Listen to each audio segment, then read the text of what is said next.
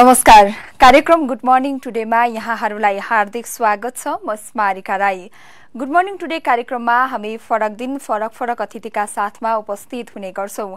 आज भने हामीसँग राष्ट्रिय खाद्य ब्याङ्क लिमिटेडका कार्यकारी अध्यक्ष शङ्करनाथ उप्रेती हुनुहुन्छ। हामी उहाँसँग पछिल्लो समयको कृषि क्षेत्रको अवस्था साथै त्यसमा कृषि ब्याङ्कले खेलेको भूमिकाबारे चर्चा गर्नेछौ।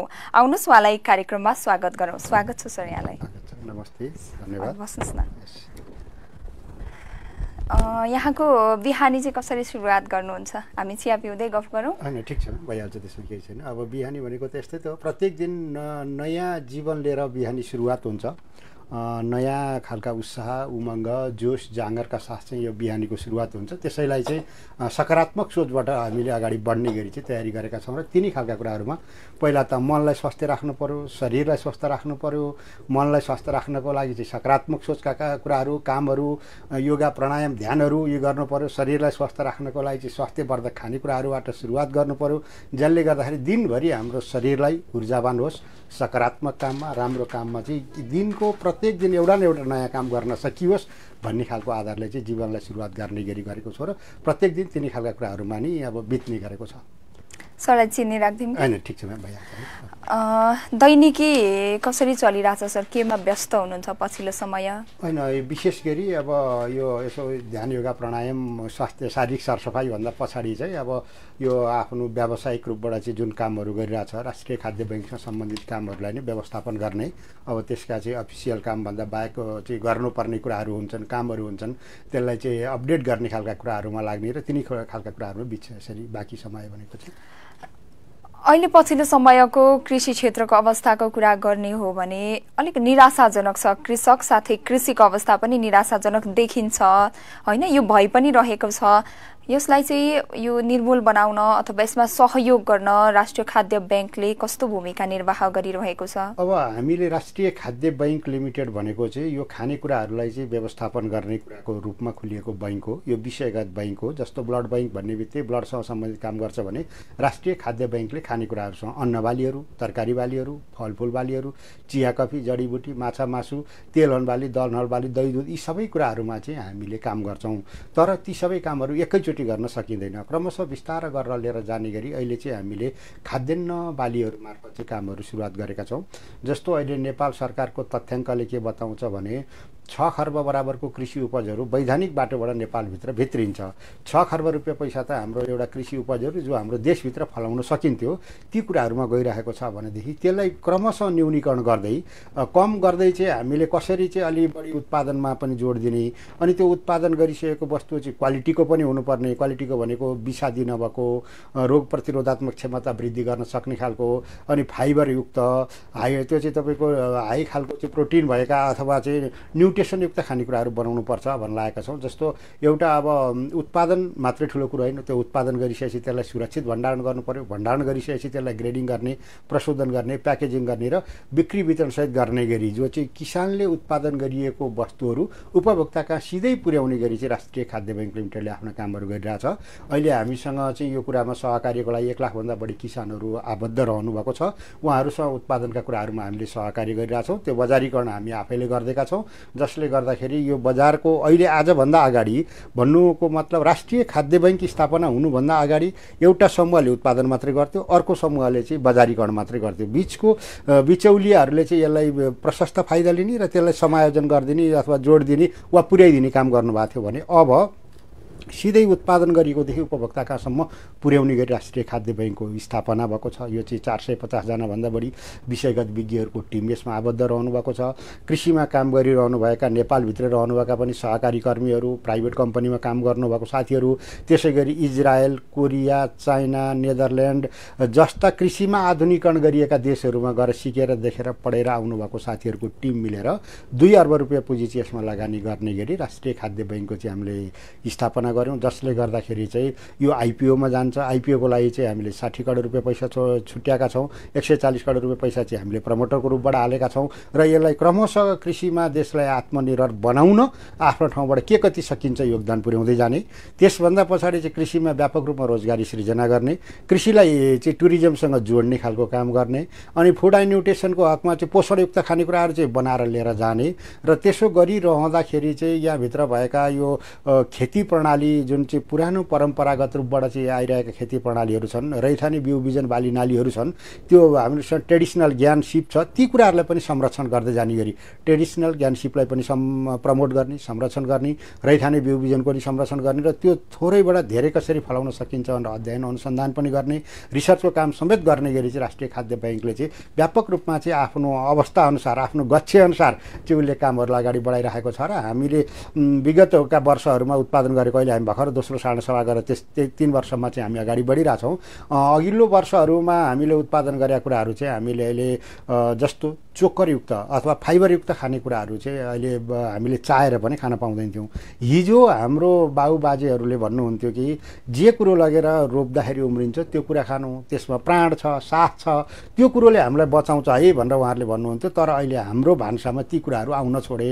उदाहरणको लागि कस्तो भने हजुरको चाहिँ गहुँ कोदो फापर जौ वा चिनो कागनो लट्टे जस्ता चाहिँ अत्यन्त धेरै स्वास्थ्यवर्धक फाइदाजनक कुराहरू चाहिँ हाम्रा भान्सामा आउन छोडे भन्नुको मतलब हामीले पाउन छोडियो। त्यो लोभ भएर जाने अवस्थामा गइसक्यो अनि त्यसले गर्दाखेरि चाहिँ अहिले राष्ट्रिय खाद्य ब्याङ्क लिमिटेडले चाहिँ सहज ढङ्गले सुपथ मूल्यमा चाहिँ तिनीहरूलाई उपलब्ध हुन सक्ने गरी काठमाडौँको भक्तपुरको लोकन्थलीमा चाहिँ हामीले यसको चाहिँ स्टोरहरू त्यहाँ छन् गोदामहरू त्यहाँ छ। त्यसमार्फत चाहिँ हामीले बिक्री वितरण पनि गरेका छौँ होम डेलिभरी फ्री होम डेलिभरीको व्यवस्था पनि गरेका छौँ र बिस्तार अब ती कुराले सहज ढङ्गले ल्याउने गरी संस्थागत रूपबाट पोषणयुक्त खानेकुरा न्युट्रिसनयुक्त खानेकुरा भनिरहँदाखेरि हामी Eh, हामीहरूमा चाहिँ कतिको चेतना रहेछ? के पाउनु भयो यहाँले? यो खान पर्छ अथवा हामी त बाहिरबाट आएको तरकारी अथवा बाहिरबाट आएको खानेकुरा सहुलियत मूल्यमा पाउँछौँ र त्यही किन्छौँ झट्ट त्यही खान्छौँ।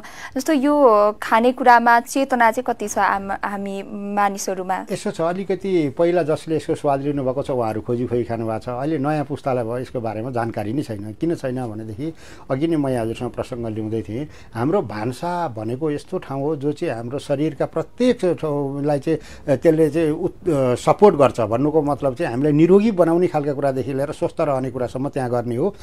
त्यो हामीले माटोमा उत्पादन हुन सक्ने खालका उत्पादित वस्तुहरूलाई छोडेर अब अहिले बजारमा अथवा फ्याक्ट्रीमा उत्पादन भएका कुराहरू चाहिँ हामीले खान थाल्यौँ। हाम्रो भान्सामा फ्याक्ट्रीमा उत्पादन भएका कुराहरूको चाहिँ राज हुन थाल्यो। अब माटोबाट उत्पादन भएका कुराहरू विस्थापन हुने र फ्याक्ट्रीबाट उत्पादन हुने खालका कुराहरू आउने बित्तिकै त्यसले अब हाम्रो शरीरलाई चाहिँ रोगको घर बनाउन लाग्यो जस्तो धेरै खालका पोषणविदहरूले भन्नुभएको छ।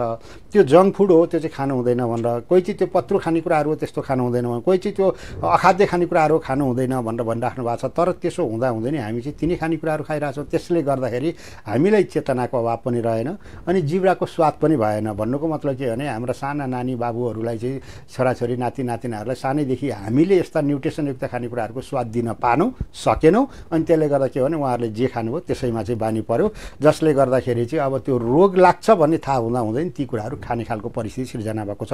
एकातिर भने अर्कोपट्टि विकल्प पनि थिएन। खाउन त हामी यसरी खोजेर भने कहाँ लिन जाने त? अब त्यो एक किलो चिनो कागनो किन्नको लागि हुम्ला जुम्ला पुग्ने कुरा पनि सम्भव थिएन। अनि त्यसले गर्दाखेरि चाहिँ अहिले हामीले चिसो हावापानीमा यो नौ महिनादेखि एक वर्षसम्म लागेर फल्ने खालका अत्यन्त स्वास्थ्यवर्धक खानामा पनि मिठो राम्रा खालका खानेकुराहरू सुपथ मूल्यमा अब राष्ट्रिय खाद्य ब्याङ्क लिमिटेडले चाहिँ बजारमा ल्याइसकेको छ भन्ने खालको कुरो थाहा भएपछि चाहिँ बिस्तारो अब यो दोस्रो पिँढीको पुस्ताको मान्छेहरूले पनि लु त्यो चाहियो यो त मिठो पो हुँदो रहेछ भनेर खाने खालको कुरा गर्नुभएको छ र यो खानपान र रहन सहनको विषयमा पनि अलिकति अब परिवारजन त गर्नै पर्नेछ नत्र हामी चाहिँ एकदमै हाम्रो शरीरलाई चाहिँ अस्वस्थ बनायौँ जसले गर्दाखेरि अब कस्तो दिनचर्या सुरु भइदियो भनेदेखि बिहान जुरुक्क उठ्यो एउटा चाहिँ मलाई के ग्यास्ट्रिक आदि इत्यादि रोग छ भने औषधि खान थाल्यो। अनि नौ दस बजेतिर खाना खाने बेला फेरि मलाई चाहिँ औषधि खानु पऱ्यो भन्यो। अनि एक बजे दुई बजे घडी हेरी हेरी चाहिँ हामीले औषधि खाएर बिहानदेखि बेलुकासम्म त्यो औषधि चक्की गोली खा बाहेक हाम्रो शरीर नरहने भयो। त्यो एउटा रोगलाई ठिक गर्छ तर अर्को रोग हाम्रो शरीरमा त्यसैले चाहिँ हाम्रो सेल्सहरूलाई मार्छ। भन्नुको मतलब के हो भने त्यो एउटा रोगलाई चाहिँ ठिक गर्ला तर समग्रतामा त्यो औषधि राम्रो होइन। नहुँदा नहुँदा नि खानुपर्ने अवस्था भयो। यो कारण के हो भने खानपान र रहन सहनले ल्याइएको वाता यो परिस्थिति भएको हुनाले वातावरण पनि छँदैछ खानपान रहनसहन वातावरण यी सबै खालको कुरालाई सुधार्दै लिएर जानुपर्छ भनेर चाहिँ फुड एन्ड न्युट्रिसनको रूपमा काम गर्ने हाम्रो विषयगत विज्ञहरूले यसको बारेमा चाहिँ अवेरनेसको प्रोग्रामहरू पनि गरेर लिएर जाने गरी चाहिँ राष्ट्रिय खाद्य ब्याङ्क लिमिटेडले हामीले तयार गरेका छौँ। अब भर्खर दुई वर्षको शैशवकालमा चाहिँ हामी पार गरिरहेको अवस्थामा अब धेरै काम गर्न बाँकी छ। अब हामीले गर्ने कामका मोडालिटी यसो हेर्दाखेरि नेपाल सरकारले गर्नुपर्ने कामहरू हो। नेपाल सरकारको अब यस क्षेत्रमा ध्यान जान सकेन। नसकेपछि हामी निजी क्षेत्रबाटै भए पनि अब प्राइभेट सेक्टरबाट भए पनि हामी काम गरौँ भनेर। समन्वय चाहिँ कसरी गरिरहनु भएको छ? राष्ट्र खाद्य ब्याङ्क लिमिटेड र नेपाल सरकारको जुन कृषि मन्त्रालय नै खडा भएर बसेको छ अहिले त होइन हुनसक्छ काम कति गरिरहेछ कृषि मन्त्रालयले आफ्नो ठाउँमा छ? तर कृषि ब्याङ्कसँग समन्वय चाहिँ कस्तो भइरहेको छ हामीले अब नेपाल सरकारका नियम ऐन कानुनभित्रै बसेर काम गर्ने भएको हुनाले हाम्रो तालुक अड्डा भनेको कृषि मन्त्रालय हो। कृषि मन्त्रालयसँग हामी सम्पर्कमै छौँ। उहाँहरू अनि त्यसले गर्दाखेरि अब त्यति मात्रै होइन प्रदेश सरकारसँग पनि हामी सम्पर्क समन्वय छौँ र स्थानीय सरकारसँग पनि। तिनै तहका सरकारहरूसँग हामीले काम गरिरहेछौँ भनेको उहाँहरूसँग सम्पर्क गरिरहेछौँ। लगानी हामीले गर्छौँ उत्पादन हामीले गर्छौँ तर सम्पर्क र समन्वय उहाँहरूसँग पनि गर्छौँ। अब भनाइको आशय के भने कृषि मन्त्रालय आफैले त कृषि ऐन बनाएर चाहिँ त्यहाँभित्रका निर्देशिकाहरू अहिलेसम्म बनाएको छैन। अब त्यो निर्देशिकै नबनेको मन्त्रालयबाट कति आश गर्ने त्यो आफ्नो ठाउँ कुरो छ। अझै पनि हिजो अस्ति मात्रै मन्त्रीज्यूले अब हामी निर्देशिका बनाउँदैछौँ भनेर भन्दै हुनुहुन्थ्यो। भनेपछि यस्ता धेरै खालका कुराहरू चाहिँ अब यहाँभित्र छन् कृषिमा गर्नुपर्ने। अनि हामीले जे जस्तो सकिन्छ आफ्नो ठाउँबाट गर्दै पनि जाने नेपाल सरकारको समन्वय गर्दै जाने अनि उत्पादन पनि गर्ने र बजारीकरणसँग पनि पुर्याउँदै जाने र हामीले खाने खालका कुराहरू चाहिँ अहिले बाहिरबाट आएका अखाद्य कुराहरू भन्नुको मतलब तपाईँ तरकारीदेखि लिएर चाहिँ सबै खालका कुराहरू बाहिरबाट आएका ती काहीँ पनि परीक्षण नभइकन त्यो खान योग्य छन् कि छैनन् भन्ने कुरो थाहा नभइकन हजुरको मेरो भान्सामा ती सिधै आउन सक्छन्। अब त्यो नखाउँ भने विकल्प छैन। खाँदाखेरि त्यो चाहिँ हामीले पैसा तिरी तिरी चाहिँ विष खाएका छौँ कि पैसा तिरेर चाहिँ हाम्रो स्वास्थ्यवर्धक खानेकुराहरू खाएका छौँ भन्ने कुरा हामी जानकार नभइकन अज्ञानमा चाहिँ हाम्रो सरकारले गर्नुपर्ने त्यो काम नगरिदिएर चाहिँ हामीले अहिले यस्तो अवस्था छ भने त्यसको विकल्पको रूपमा राष्ट्रिय खाद्य ब्याङ्क लिमिटेडले उत्पादन गरिएका आफ्ना वस्तुहरू जो स्वदेशी वस्तुहरू नेपालभित्र उत्पादन हुने खालका कुराहरूलाई चाहिँ उत्पादन गरेर अहिले हामीले बजारमा ल्याएका छौँ। र बिस्तारै चाहिँ विषादी रूपबाट आएका कुराहरू विषाक्त कुराहरूको विकल्पको रूपमा चाहिँ राष्ट्रिय खाद्य ब्याङ्कले उत्पादन गरिएका हामीले चाहिँ माटो परीक्षण गर्ने बेलादेखि नै माटो परीक्षण गर्दै प्राङ्गरिक खेती प्रणाली मार्फत काम गरेर चाहिँ त्यसलाई चाहिँ अब अलि धेरै फलाएर चाहिँ अब यो प्राङ्गरिक प्राङ्गरिक अथवा अर्ग्यानिक भनेकोले यो देशलाई खान पुग्दैन भोकमारी लाग्छ भन्ने पनि एउटा तर्क विज्ञहरूको छ। तर त्यो मात्र होइन त्यसलाई पनि व्यवस्थापन गरेर चाहिँ धेरै उत्पादन गर्न सकिँदो रहेछ भन्ने खालको कुरा हामीले आफैले चाहिँ हाम्रो प्रा प्र्याक्टिकलमा हामीले गरेका ठाउँबाट सम्भावना छ एकदमै धेरै सम्भावना पनि छ र त्यो ती खालका कुराहरूलाई चाहिँ हामीले गरेर लिएर आएका छौँ र बिस्तार अब यो खालको चेतना अभिवृद्धि हुँदै जान्छ। हाम्रो सबैभन्दा संसारमा हामीले पाएको एउटै कुरा भनेको शरीर हो स्वास्थ्य हो। यसलाई हामीले संरक्षण गर्न सक्यो भने कसैले केही पनि गर्न सकिँदैन। गर्नु पनि हुन्न। त्यसले गर्दाखेरि के हो भने अब पहिलो कुरो शरीर नै धन हो भन्ने खालको कुरा राखेर यसलाई तन्दुरुस्त राख्नको लागि यसलाई चेतना अब चेतना जगाएर चाहिँ स्वास्थ्य बनाएर लिएर जाने खालको कुरामा हामीले पहल गर्छौँ। उदाहरणको लागि के भने तपाईँको कतिपय रोग यी खानेकुराकै रूपबाट चाहिँ त्यो चाहिँ ठिक हुन्छ त्यसलाई चाहिँ एकदमै सहज हुन्छ औषधि खानु पर्दैन अनि रोग व्याधि अपरेसन गरिराख्नु पर्दैन भने त्यस्ता खालको खानेकुराहरूमा चाहिँ किनेर खाइदियो भने त हामीले अनि अखाद्य खानेकुराहरू खाने रोगी हो नि अनि त्यहाँबाट लाखौँ पैसा जम्मा गरेर लगेर चाहिँ आफ्नो शरीर काट्नको लागि चाहिँ अस्पतालमा जाने खालको परिस्थिति सिर्जना गरिएको कुराले चाहिँ अब हाम्रो धन भनेको स्वास्थ्य हो। र यो स्वास्थ्य यो धनको संरक्षण गर्नुपर्छ भने स्वास्थ्यलाई बचाउने खालका रोग नलाग्ने खालका हामी तन्दुरुस्त हुन सक्ने खालका खानेकुराहरू खानु पऱ्यो त्यो खानेकुराहरू राष्ट्रिय खाद्य ब्याङ्क लिमिटेडले उत्पादन गरेर बजारमा ल्याएको छ। हामीले सिधै रूपमा चाहिँ अघि नै पनि हजुरसँग मैले निवेदन गरेँ होम फ्री होम डेलिभरीको रूपमा भ्यालीभित्र ल्याइसकेका छौँ। त्यसमा चाहिँ अन्नबालीहरू छन्। अब अघि नै मैले भने जस्तो कागनो चिनो फापर मकै कोदो भटमास अनि त्यो कागनो चिनो लट्टे लगायतका चाहिँ यस्ता चाहिँ जो रैथाने बालीका रूपमा रहेका र पोषणयुक्त खानेकुराहरू भएका कुराहरू छन्। चिनीको विकल्पमा सखरहरू हामीले उत्पादन गरेर ल्याएका छौँ। अब भनेको यी धेरै खालका कुराहरू चाहिँ हाम्रो माटमा अथवा राष्ट्रिय खाद्य ब्याङ्कमा गरिरहेछौँ र अझै पनि यसलाई व्यापक बनाउने गरी किसानहरूसँग हामी अगाडि बढिरहेछौँ किसान सेवा केन्द्र भनेर चाहिँ किसानहरूलाई चाहिँ उहाँहरूलाई सेवा दिन सक्ने गरी उहाँहरूका उत्पादनहरूलाई चाहिँ व्यवस्थित गर्ने गरी उहाँहरूलाई तालिम दिने उहाँहरूलाई चाहिँ सिकाउने उहाँहरूबाट उत्पादनको कुरा किन्ने उहाँहरू चाहिनुपर्ने कुरा हामीले चाहिँ त्यहाँ पुर्याइदिने यस्तो गरी चाहिँ हाम्रो सेवा केन्द्र मार्फत काम पनि गरेका छौँ। अहिले हामीले चाहिँ बत्तिसवटा जिल्लाबाट चाहिँ यो कामको सुरुवात गरेका छौँ र बत्तिसवटा जिल्लामा पुर्याएका छौँ र क्रमशः केही समय पछाडि हामी सतहत्तरै जिल्लामा पुग्ने गरी तयारी गरिरहेछौँ तर एकैचोटि हाम्रो त्यो सम्भावना छैन किनभने हामी नै प्राइभेट सेक्टर हो। हामीसँग बजेट पनि छैन। अब आफूले घाँस काटेर उबारेर थोरै पैसा सेयरको रूपमा लगानी गरेर काम गर्नु परेको कारणले गर्दाखेरि भने जति पैसा नभइकन काम गर्न सकिँदैन। अब नेपाल सरकारको कृषिमा गएका कुराहरू कृषिमा छुट्याइएका बजेटहरू त्यसबाट भएका उपलब्धिहरू हेर्ने हो भने त त्योभन्दा हामीले एकदमै धेरै गरेका छौँ। तर पनि के हो भने अझै पनि सरकारसँग हामी सह भोलिका दिनमा चाहिँ सहकार्य गर्दै अगाडि बढ्दाखेरि देशलाई जति सकिन्छ कृषिमा आत्मनिर्भर बनाएर लिएर जान सक्ने गरी नै हाम्रा पहल कदम योजनाहरू बनाएका छौँ र कृषि प्रधान देश हो भन्छौँ नेपाललाई होइन? यो कृषिमा आत्मनिर्भरको कुराहरू आयो स्वदेशी खानपानको कुराहरू आयो तर अहिले पनि कृष कृषकहरू त्यति धेरै मात्रामा छैन होला होइन? तर जति कृषक छन् उहाँहरू पनि आफ्नो आफूले उत्पादन गरेको वस्तु बिक्री नभएर होइन? आन्दोलन गर्नु परेको सडकमा छर्नु परेको अवस्थाहरू त हामीले देखिरहेको छौँ नि त। अझ कृषि प्रधान देश पनि भन्छौँ कृषिमा आत्मनिर्भर बनाऊ पनि भन्छौँ। तर यो अवस्था किन सिर्जना भइरहेको छ? के लाग्छ यहाँलाई? यो चाहिँ पहिलो कुरो के हो भने सरकारले यो कृषिको चाहिँ जुन हाम्रो व्यवसाय हो अथवा कृषि उत्पादनका कुराहरू हो अथवा बजारीकरणका कुरा हो कृषि क्षेत्रमा कहाँ राम्रो काम गरेकै छैन। अब किनभने दुई चारवटा इन्डिकेटर छ जो सरकारले गरेका कामकै हेर्ने हो भने तपाईँको विगत दस वर्षदेखिको बजेटिङ हेर्ने हो भनेदेखि टोटल बजेटको टु पोइन्ट फाइभ पर्सेन्टभन्दा बढी चाहिँ कृषिमा बजेट दिँदैन गएको छैन। नजाने बित्तिकै भने त्यो कृषिको बजेट भनेको त्यो कृषिसँग मात्र होइन त्यहाँ चाहिँ त्यो अफिसहरू सञ्चालन गर्न मेन्टेनेन्स गर्न तलब खुवाउन के के के के गर्न जाँदाखेरि ठुलो पैसा ती सकिन्छ। अनि त्यसले गर्दाखेरि त्यो अब हाम्रो उत्पादनसँग लाग्ने कुराहरू त्यसलाई बजारीकरण गर्ने कुराहरू भण्डारण गर्ने कुराहरू एकदमै न्यून छ। दोस्रो खालको कुरा भनेको चाहिँ के हो भने नेपाल सरकारले यसलाई प्राथमिकतामा राखेको छैन। किन छैन भनेदेखि हाम्रो स्वदेशभित्र कृषिमा काम गर्ने मान्छेहरूलाई सहुलियत अथवा सुविधा केही छैन। अब भन्न त अनुदानका कुराहरू बेला बेलामा आएका छन्। त्यो अनुदानको पनि कस्तो अवस्था छ भने जो पहुँचवाला छ जो सरकारको अथवा राज्यको वा त्यो दिने मान्छेहरूको वा दलालहरूको अघिपछि लागेर चाहिँ लिन सक्छ त्यसले चाहिँ केही खाने हो त्यो किसानहरूकामा पुगेको छैन। त्यसले गर्दा त्यो चाहिँ उत्पादनमूलक काममा लाग्न सकेन अथवा ठिक ठाउँमा पुग्न सकेन पाउनुपर्ने किसानहरूले पाउन सक्नु भएन जसले उत्पादन गर्नुभएको छ। दोस्रो खालको कुरा भनेको चाहिँ यहाँ बिचौलियाहरूको यस्तो हाबी छ यो कृषिभित्र पनि एउटा यस्तो गिरोह सक्रिय छ त्यो गिरोहले चाहिँ सरकारलाई कर्मचारीलाई दबाब वा प्रभावमा पारेर उनीहरूलाई फाइदा हुने कुराहरू बाहिरबाट ल्याएर बिक्री वितरणको लागि चाहिँ यहाँ सहजता दिइन्छ। तर नेपालभित्र उत्पादन भएका कुरालाई काहीँ पनि प्राथमिकतामा राखिँदैन। अब यहाँ आपत पऱ्यो र गयो डुब्यो भने सबै किसान आफैले बेहोर्नु पर्ने हुन्छ। अब तपाईँ हामीले देखेकै भएको कुरा हो कहिले दुध घोप्ट्याइएको छ कहिले चाहिँ अस्ति मात्रै चितवनमा चाहिँ त्यत्रो तरकारीहरू फाल्यो यसै गरी बेला बेलामा ऊ भएको छ। यी सबै खालको कुराले गर्दा के हो भने अब मेहनत गर्यो अब त्यो माटो खन्यो फलायो धेरै खालको तयारी गरेर बजारमा ल्याइसक्ने बेलामा हाम्रा नेपाली उत्पादनहरू बजारमा आउने बेलामा चाहिँ अब बाहिरका देशहरूका उत्पादनहरू ल्याएर चाहिँ त्यसलाई चाहिँ विस्थापन गरिन्छ। अनि भएपछि मान्छेहरू कृषि पेसाबाट पलायन हुनुहुन्छ। अब कृषि प्रधान देश भनेर चाहिँ त्यो प्रधानता चाहिँ कायम गरिएको भए हुन्छ जस्तो इजरायलमा वान पोइन्ट फाइभदेखि टू पर्सेन्टका पेरिफेरीमा रहेको मान्छेहरूले चाहिँ त्यत्रो उनीहरूको चाहिँ कृषिले त्यति सम्पन्नता हासिल गरेको छ। हाम्रो चाहिँ यत्रो असी पर्सेन्टबाट चाहिँ अहिले घट्दै अलिकति सतहत्तर पर्सेन्ट जति आइसकेको छ।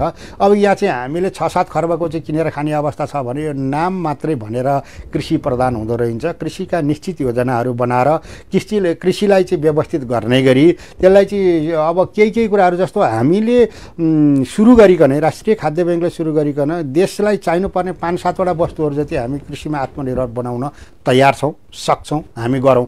तर ती खालका कुराहरू चाहिँ हामीलाई यहाँ एउटा भण्डारण अथवा राखिदिने ठाउँ दिनु पऱ्यो र त्यो कुरा बाहिरबाट ल्याइदिनु भएन हामी आत्मनिर्भर बनाउँछौँ भनेर भन्दाखेरि चाहिँ अब तपाईँको बेसार हामी बाहिरबाट किनेर खाने धनियाँ बाहिरबाट किनेर खाने यस्ता साना सानाको अदुवा बाहिरबाट किनेर खाने जो खालका यहाँ चाहिँ कुहिएर गएका छन् यी हाम्रो देशभित्र आत्मनिर्भर हुनसक्छ त्यस्ता खालको कुरा चाहिँ डलर तिरेर खानुपर्ने अवस्था राज्यले सिर्जना गरेको भएर त्यो खालको परिस्थिति नमिलाएसम्म अझ भद्रगोल हुँदै जान्छ यो कृषिको पनि। यसमा अब तपाईँको भनेको बेलामा बिउ छैन अनि बिउ भयो भने पनि त्यो तपाईँको चाहिँ यो दे यो हावापानीमा लाग्छै लाग्दैन। भनेको बेलामा मल छैन अनि त्यहाँबाट अब मल नभइकन खेती गर्न सकिएन। अब म जहिले प्रत्येक वर्ष चाहिँ मलको चाहिँ अभाव रासायनिक मलका कुरा गर्ने त्यो छ प्राङ्गारिक मलको तयारी नै गरिएको छैन। प्राङ्गारिक मलले चाहिँ हाम्रो देशलाई यहाँ गर्नुपर्ने त्यो खालको कुरो गरिएको छैन। श्रमको व्यवस्था छैन कृषिको बजारी बजारको सुनिश्चितता छैन। अनि को मान्छे चाहिँ त्यसरी लाग्छ र अनि यहाँ फलाइदिन्छन् र फल र रहन सक्छ भन्ने खालको अवस्था भएको हुनाले यो खालको कुरा अलिकति नीतिगत रूपमा प्रश्न पार्दै नेपाल सरकारले नि यस्तो खालको कुरामा सहुलियत दरमा चाहिँ काम गर्न सक्ने गरी जो किसानले चाहिँ माटो खन्नुहुन्छ जो चाहिँ काममा लाग्नुहुन्छ जसले चाहिँ गोबर सोर्नुहुन्छ जो चाहिँ हिलोमा खेल्नुहुन्छ उहाँहरूलाई नै अनुदान पुग्ने गरी जस्तो अब एउटा उदाहरण मात्र के भने इन्डियामा चाहिँ धान खेती कमाइ गर्ने किसानहरू खातामा नेपाल के अरे इन्डियन सरकारले पैसा हालिदिन्छ।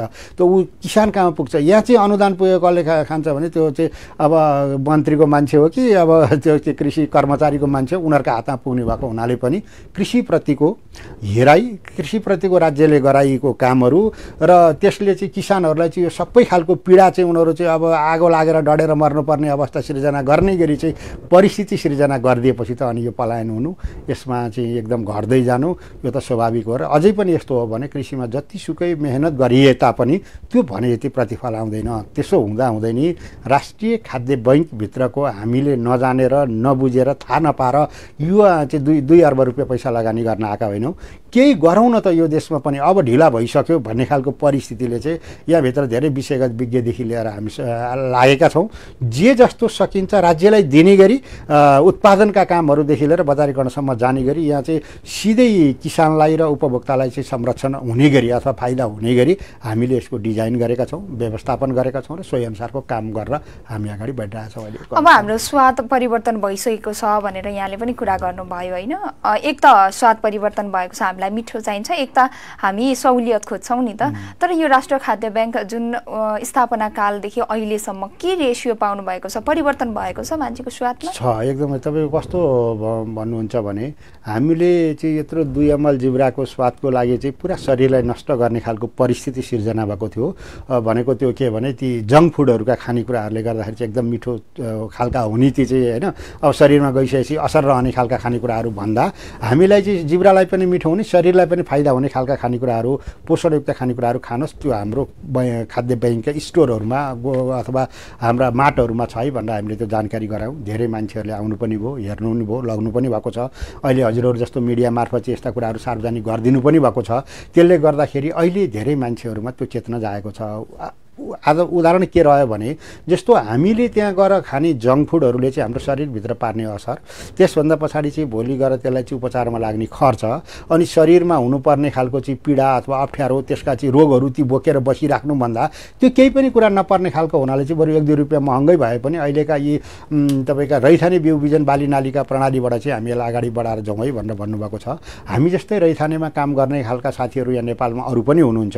उहाँहरूसँग पनि हामीले एउटा टिम बनाएका छौँ। छौँ र त्यो टिम बनाएर चाहिँ हामीले रैथाने बिउ बिजन बाली नालीको संरक्षण गर्दै ट्रेडिसनल नलेजलाई पनि हामीले संरक्षण गरेर जानुपर्छ र यो ट्रेडिसनल कुराहरूलाई आधुनिकरणसँग ल्याएर जोड्नुपर्छ र यो मेसिन हिजो मान्छेले गर्ने कामलाई मेसिन औजार मार्फत गरेर लिएर जानुपर्छ र हिजो थोरै ठ फलाठोमा अहिले धेरै फलाउनुपर्छ र हिजो सानो खालको चाहिँ एउटा स्याउ यत्रो जानु थियो भने भोलि यत्रो कसरी बनाउन सकिन्छ भनेर त्यसको बारेमा पनि अध्ययन गर्नुपर्छ भनेर नेपाल सरकारले अध्ययन गरेका ठाउँमा पनि हामी त्यसलाई चाहिँ फलो गर्ने भयौँ। उहाँ नगरिएको कुरा चाहिँ राष्ट्रिय खाद्य ब्याङ्कले हामीले गरेका कुराहरू यस्तो छ भनेर सार्वजनिक गर्ने गरी लागेका छौँ र अहिले चाहिँ विशेष गरी रैथाने बिउ बिजनको चाहिँ हामीले खाद्य बैङ्क एउटा छुट्टै युनिट बनाएर चाहिँ त्यो बिउ बनाउँदैछौँ र त्यो बिउ बनाइसकेपछि व्यापक रूपमा नेपालभरि चाहिँ त्यसलाई हामी लिएर जाने गरी तयारी गर्दैछौँ। तर केही समय लाग्छ किनभने यो बिउ बिजनहरू काम हत्तापत्ता एकैछिनमा भइहाल्ने कुरा होइन। समग्रतामा कामको सुरुवात भएको छ। दिन कस्तो हुन्छ भनेर बिहानीले बताउँछ भनेको जस्तो बिहानी एकदम सुन्दर छ सफा छ राम्रो छ अब भर्खर आएको छ यसका केही परिणाम आउनको लागि चाहिँ समय लाग्छ। फेरि यो कृषिको काम भनेको यो हतार हतार गरेर आजको भोलि भइहाल्ने कुरा पनि होइन। यो कुरा हामीले लगानी गर्ने साथीहरूले पनि यो कुरा बुझेका छौँ। यसमा चाहिँ सबै खालको कुरा गर्दा गर्दै पनि भोलिका दिनमा राष्ट्रिय खाद्य बैङ्कको स्थापना भइसकेपछि यसले ल्याएको चाहिँ समाजमा र राज्यमा परिवर्तनका कुराहरू यस्ता छन् है भनेर देखिने गरी चाहिँ त्यो मोडालिटीबाट हामी बढेका छौँ। अब हामी कार्यक्रमको अन्त्यतिर पनि छौँ होइन? नेपालको कृषक अनि उत्पादित वस्तु नेपाल सरकारको कृषि मन्त्रालय योसँग समन्वय गर्दै खाद्य ब्याङ्कले के योजना बनाएको छ आगामी दिनमा? होइन हामीले त यी सबै काम गर्ने गरी सुरुदेखि योजना बनाएका छौँ र अहिले पनि बनाइरहेका छौँ। यसमा दुई तिनवटा कुराहरू जस्तो एउटा पहिलो कुरो हामीले चाहिँ नेपाली कृषि उपजहरूलाई चाहिँ ब्रान्डिङ गरेर नेपालभित्र खानेकुराहरू खानको लागि चाहिँ हामी सबै उपभोक्ताहरूलाई अनुरोध गर्छौँ। त्यसमा किनभने त्यो नेपाली माटोमा फलेको त्यो चाहिँ स्वास्थ्यवर्धक छ त्यसमा विषादीको मात्रा कम बनाएर चाहिँ हामी लिएर गएका छौँ। अनि त्यसले चाहिँ त्यो हाम्रो आँखा अगाडि फलेको हाम्रो हावापानीमा भएको हुना हुनाले त्यो नेपाली वस्तु मात्रै हामीले खाइदिँदाखेरि यहाँ नेपालभित्र रोजगारी सृजना हुनेदेखि लिएर बाहिर जाने पैसासम्म यहाँ रोकिने अथवा देशलाई पनि अदृश्य रूपबाट चाहिँ फाइदा हुने भएको हुनाले ती खानेकुराहरू खानको लागि उपभोक्ताहरूलाई पनि हामीले अनुरोध गरेका छौँ। दोस्रो खालको कुरा त्यो सहज रूपमा उपलब्ध हुन्छ त? भन्दा त्यो सहज रूपमा उपलब्ध हुनको गर्नको लागि चाहिँ हामी जस्तै कृषिमा काम गरिरहनुभएका धेरै साथीहरूको टिम छ उहाँहरूले पनि त्यो खालको कुरालाई अगाडि बढाएर लिएर जानुहुन्छ र तिनीहरूलाई चाहिँ हामी उहाँहरूलाई चाहिँ हामीले आबद्धता गराउँदै अथवा समूह बनाउँदै ती खालका कुरामा सहज र सस्तो रूपमा लिएर जाने गरी त्यसको पनि हामीले तयारी गरिरहेछौँ ती खालका कुराहरूमा स्थानीय निकायसँग पनि हामीले सम्पर्क गरेका छौँ आफ्नो पहुँच र जति भएका छौँ। अब बिस्तार हामी गर्दै जान्छौँ। उहाँहरूलाई पनि स्थानीय निकायहरूलाई पनि हामीले के निवेदन गरेका छौँ भने अब यो रैथाने बिउ बिजनहरूको संरक्षण गर्ने रैथाने बाली नालीहरू उत्पादन गर्ने र रैथाने खानेकुराहरू खाजाहरू चाहिँ तपाईँहरूले आफ्नो स्कुलका बालबालिकाहरू नानी बाबुहरूलाई खुवाउनुहोस् कि। ताकि त्यो विश्व खाद्य कार्यक्रमको कुहिएको सा पिठो ल्याएर खुवाउने होइन हाम्रै सातु बनाएर खुवाउन सकिन्छ हाम्रै खालका कुराहरू खुवाउन सकिन्छ भने त्यो कुराको बारेमा नि हामीले चेतना जगाइरहेको छौँ र अहिले कतिपय ठाउँमा सुरुवात पनि भएको छ। दोस्रो खालको कुरा भनेको हाम्रो नानी बाबु नाति नातिना छोराछोरी यिनीहरूलाई पनि खुवाउनको लागि अब ती बिस्कुट चाउचाउ जस्ता यस्ता अखाद्य कुराहरूको त्यो कुराहरू होइन कि हाम्रा कागनो चिनो राखेका मकैका भटमासका सातुहरूदेखि लिएर चाहिँ स्वास्थ्यवर्धक खानेकुराहरू खुवाउनुहोस्। त्यो बनाउन तपाईँहरूलाई अप्ठ्यारो छ भने राष्ट्रिय खाद्य बैङ्कका माटोहरूमा सहज ढङ्गले उपलब्ध गरेका छौँ लगाएर खुवाउनुहोस् भनेर हामीले त्यो खालका कुराहरू पनि जानकारी गराएका छौँ र बिस्तारै गराउँदै गराइरहेका पनि छौँ। अब अर्को भनेको सरकारसँग रहनुभएका निकायहरू अब यसमा त अब अहिलेको संविधानले त सबै एउटै निकाय मात्रै छैन स्थानीय निकाय प्रदेश र सङ्घ तिनै ठाउँमा चाहिँ दिएको छ सङ्घले गर्ने छुट्टै कामहरू छन्। यी खालका कुराहरूलाई पनि गर्नुपर्छ भनेर हामीले सुझावको रूपमा राष्ट्रिय योजना आयोगदेखि लिएर चाहिँ किसान आयोगदेखि लिएर यी सबै ठाउँमा गएर चाहिँ यसरी यो यो काम गर्नुपर्छ। यहाँ भएका कानुनी झमेलाहरू कानुनी जटिलताहरू यसले पारेको असरहरू कृषिमा रहेका समस्याहरू। अब यो कृषि पेसा भनेको चाहिँ फेरि मान्छेले मात्रै गरेर हुँदैन। यो चाहिँ प्रकृतिसँग पनि सम्बन्धित छ। अब प्रकृतिले लग्यो भने त्यो हाम्रो कसैको बलबुताको कुरो पनि छैन। ती खालका कुराहरूलाई समेत दिने गरी चाहिँ यी सबै खालका कुराहरूसँग सकेसम्म हाम्रा ठाउँबाट अब हामीले कति सक्छौँ होइन आफ्नो ठाउँबाट। जे जति सकेका कुराहरूमा ती सबै ढङ्गले गरेर जाने गरी तयारी गरेका छौँ। स्वदेश वा विदेशमा नै हाम्रो यो उत्पादनलाई चाहिँ बजारीकरण गर्ने गरी बाह्य देशमा पनि हाम्रा चाहिँ कतिपय वस्तुहरू पठाउन सकिने सम्भावनाहरू छन्। ती कुराहरूलाई पनि हामीले अध्ययन गरेका छौँ। अब त्यो यस्ता राम्रा कुराहरूलाई चाहिँ हामीले सरकारसँग पनि समन्वय गर्दै लिएर जाने गरी तयारी गरेका छौँ र अझै यसलाई व्यापक र विस्तार गराएर लिएर जान्छौँ। हस् यहाँको समयको लागि धेरै धेरै धन्यवाद। तपाईँलाई पनि धन्यवाद। त्यसै गरी टिभी टुडे परिवार लगायत सबैलाई चाहिँ यो राष्ट्रिय खाद्य ब्याङ्कको बारेमा जसले चाहिँ सुन्नुभयो जानकारी लिनुभयो। विशेष गरी अझ थप सल्लाह सुझाव केही भए दिनुहुन्छ भन्ने आशा गर्दै बिदा चाहन्छु। धन्यवाद। नमस्ते। आजको गुड मर्निङ टुडे यति नै। हामी भोलि नयाँ अतिथिका साथमा पुनः उपस्थित हुनेछौँ। तबसम्म म पनि विदा चाहन्छु। नमस्कार।